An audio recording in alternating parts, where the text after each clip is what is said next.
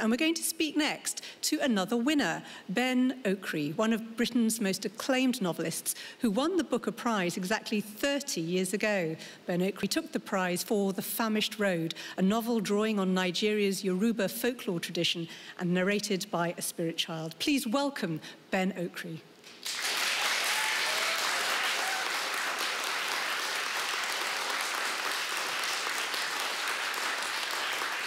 Ben, first of all, I can't believe it's been 30 years. I know, it seems to have gone past in a... A flash. A wonderful dream. And, well, speaking of dreams, you made a wonderful comment about The Famished Road. You once said the book was fed by the dreams of literature. How do you look back on winning the Booker Prize? I look back on it with great fondness, actually. Um, I remember the years before the length of time, the, the, the struggle, the, the, the, effort to find a new voice, to tell a new kind of story. Um, and then you write this book and you wonder if anyone's going to read it or if they'll cut you away to the madhouse because you've done something very strange and used a kind of a, a strange form.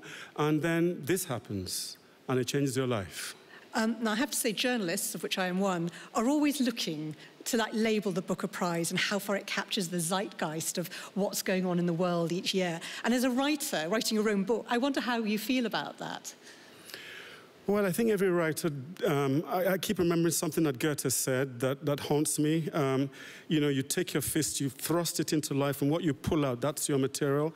And I think every writer worth their salt or their gold, that's what they're doing. Um, and there's, there's, there's, no, there's no other way to really write, given the nature of the times in which we find ourselves. We're in an age of great contention, an age of environmental disasters. So many big issues are pressing upon us, and I think the writer has to be bolder and dig deeper